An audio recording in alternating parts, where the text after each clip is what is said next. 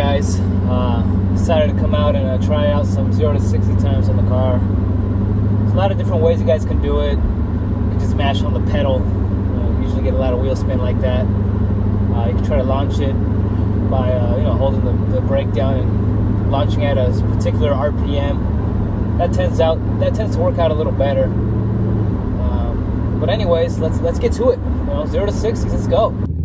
And go.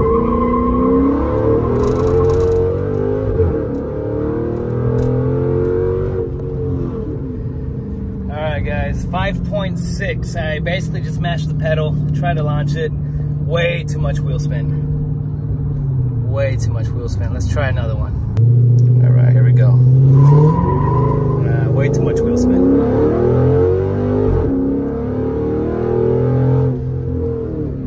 Terrible, terrible. Alright guys, traction control is completely on. Let's try to launch it at 1500 here. Slowly ease to the pedal and go.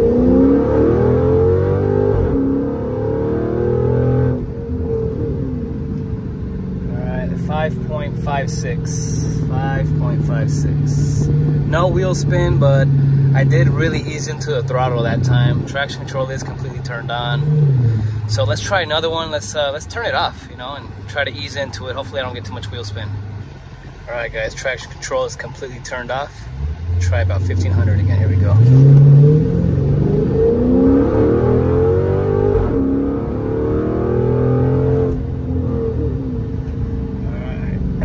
Looks like 5.5 that time, guys. 5.5. I'm gonna try a couple more times here.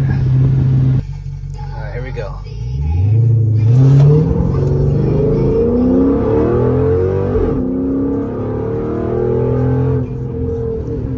Five point five again. Five point five.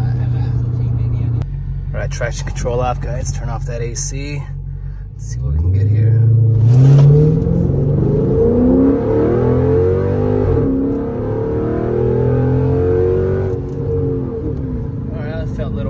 We got a 5.25. 5.25. Not too bad. All right, guys, one last time here. One last time.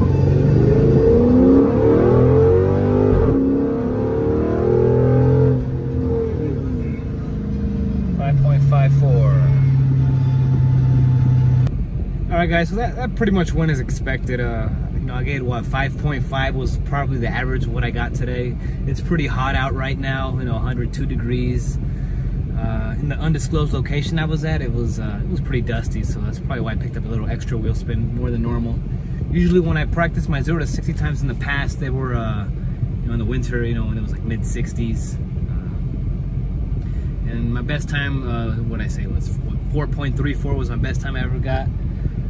But usually, you know, this car, what, it's made 2009. I got, what, 42,000 miles on it right now.